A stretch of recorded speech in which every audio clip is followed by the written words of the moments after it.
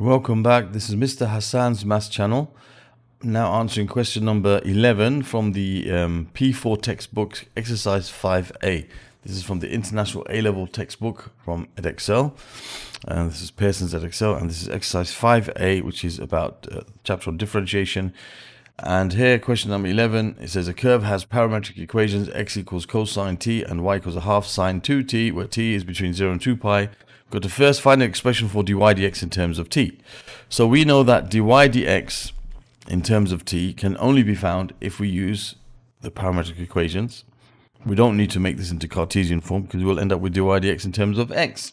So we want to have it dy dx in terms of t, so we have to use the parametric equations. So dy dx is equal to, if we think about it by the chain rule, dy dt times dt dx. Okay, so dy dt times dt dx will leave us with dy dx. So we see that um, x equals cosine t. So dx dt, well, if you differentiate the cosine of an angle, we get minus the sine of the same angle. It's one of our standard results that we should know.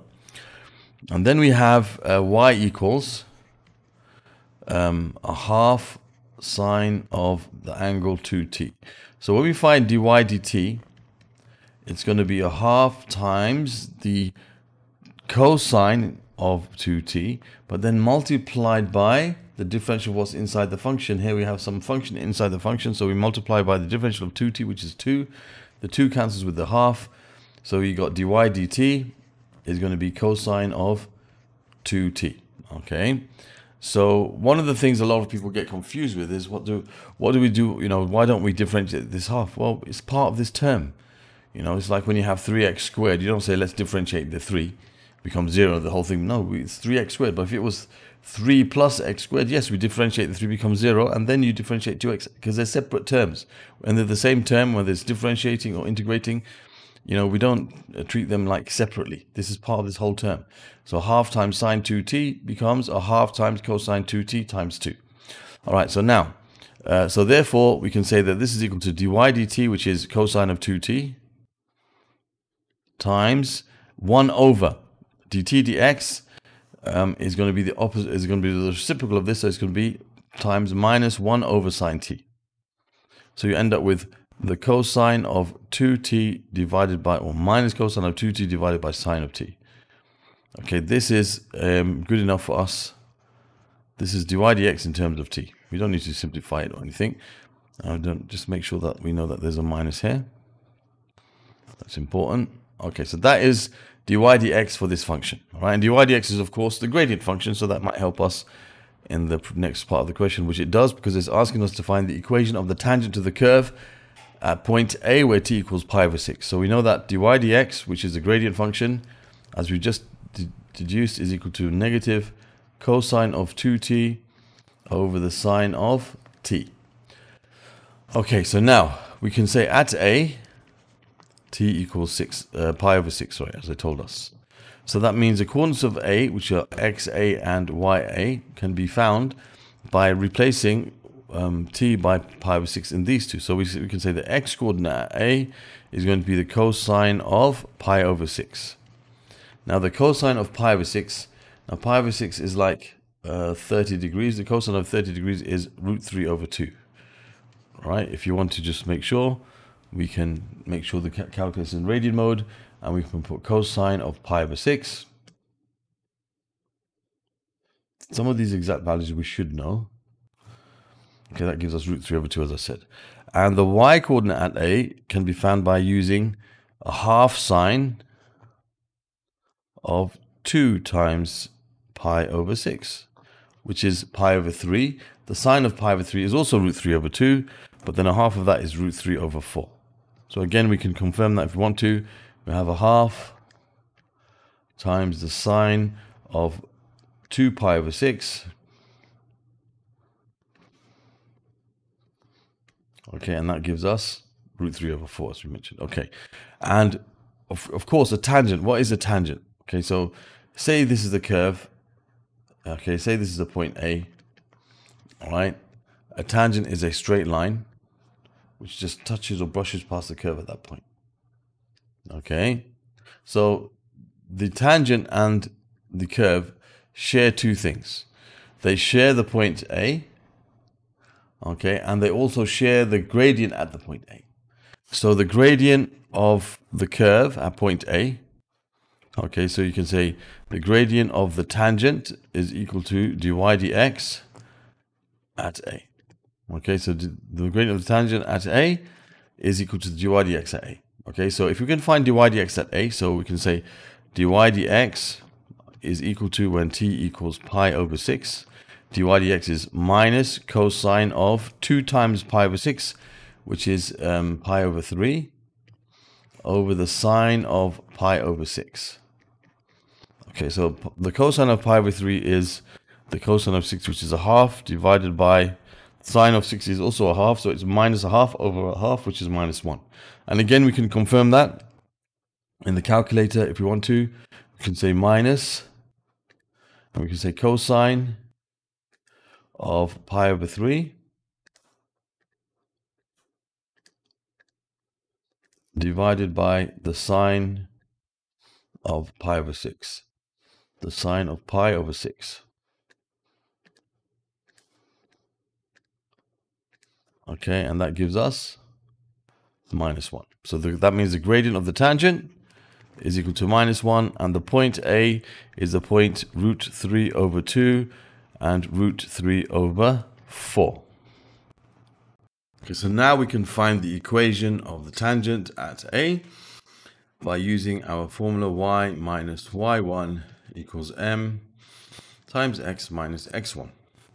So have y minus root 3 over 4 equals m, which is minus 1 times x minus root 3 over 2. Okay, so we could put this in um, the form, let's just get rid of this, it's minus x plus root 3 over 2. So we could write in the form where we write it as ax plus by plus c equals 0. If we multiply everything by 4, this is going to become 4y minus root 3 equals minus 4x plus 2 root 3. And then if we bring everything to one side, 4x plus 4y, and you're going to have plus, uh, that's minus, oh, it's going to be minus 3 root 3. Minus 3 root 3 equals 0. Or we can write it in the form y equals mx plus c, in which case you'll have y equals minus x, and we'll have root 3 over 2 plus root 3 over 4.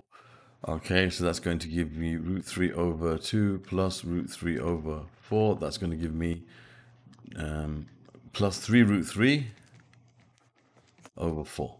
Okay, so that's an equation of the straight line in y equals mx plus c form, and that's in the, the other form that we have.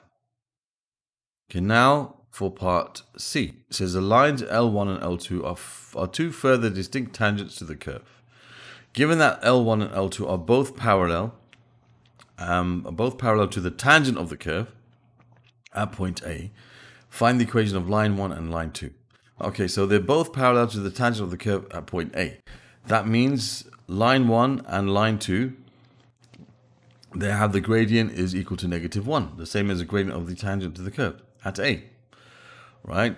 So they both have that same gradient. That means Okay, add the, the gradient of these two points satisfy the equation minus cosine 2t over sine t is equal to negative 1. They both satisfy this equation. So we can now find uh, what those two points are, or the value of t at those two points, by solving this equation. So we can say that this, therefore this we can say cosine 2t over sine t equals 1 get rid of the minus sign.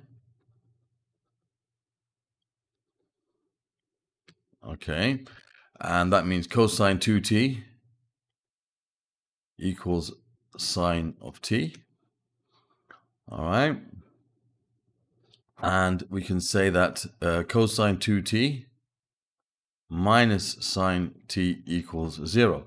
Now, I know the cosine of 2t using the double angle formulae is going to be, remember this is the same as cosine squared t minus sine squared t from the double angle formula. So if I want to express it in terms of sine t so that I have the same ratio all the way through, this is the same as 1 minus sine squared t minus another sine squared t. So it's 1 minus 2 sine squared t.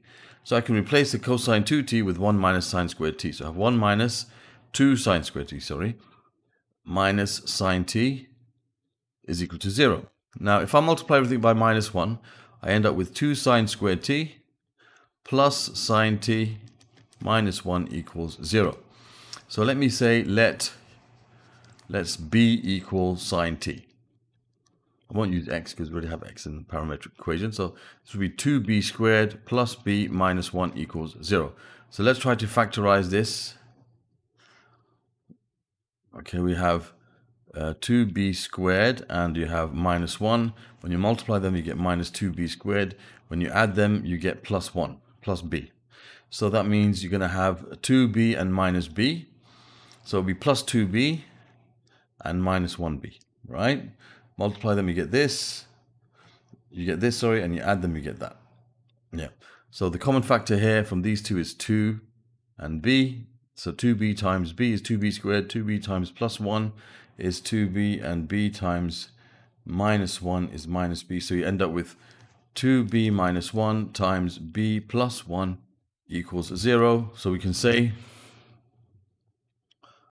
so we can say that b equals that's a half or b equals minus 1. So we know that b is sine t.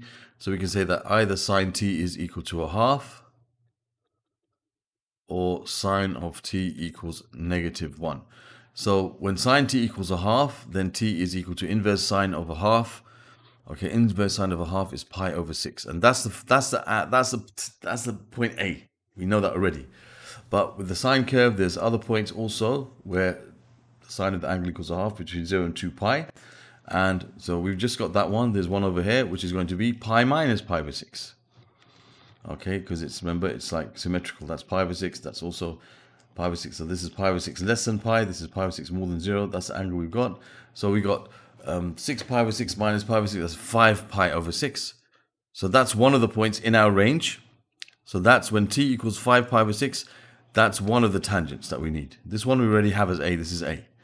Okay, this is another one. And when sine t equals negative 1, well, that's going to be over here. And we know that that's when it's uh, 270, which is uh, 3 pi over 2. Okay, so that's when t equals 3 pi over 2. So the three solutions here, this one is A, this one is the other point, and this one is the other point. So these are the other two points where in our range where we have the same gradient. Okay, so we know the gradient already is minus 1 in both of the in all of those points. So we need to find the point. So we can find the point when t equals 5 pi over 6. We'll find what the point is. We have x equals the sine of t, wasn't it? x equals sine t, cosine t. So let me just bring this down so I don't get mixed up. So we know x is cosine t. So x is equal to the cosine of 5 pi over 6 and the y coordinate is going to be a half times the sine of 5 pi over 6. Okay, so we can work these out. We can just stick them in the calculator if we want. So we have cosine of 5 pi over 6. Okay, so that gives us negative root 3 over 2.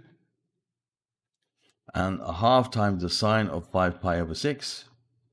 So we have 1 over 2 times the sine of 5 pi over 6. And that gives us a quarter. Okay, so that's one of the points. So one of the tangents, okay, did they give them their name? They didn't, did they? Line 1. Okay, so let's say this is line 1.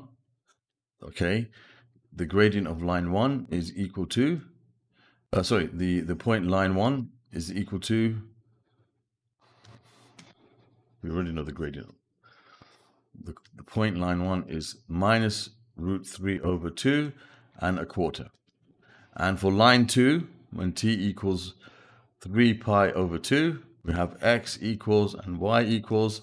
So you have cosine of 3 pi over 2, and you have a half times the sine.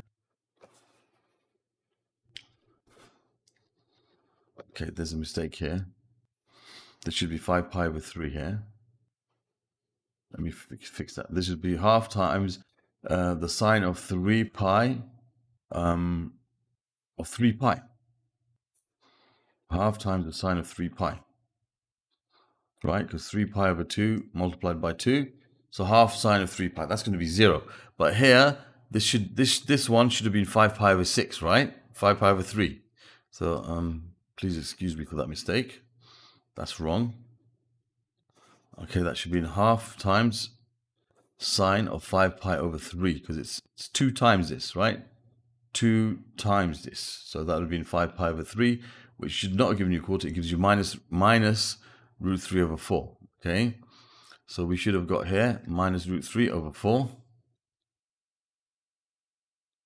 And this should have been 5 pi over 3. That's minus root 3 over 4. Okay, that's You've got to be really careful about these problems. All right, so cosine of 3 pi over 2.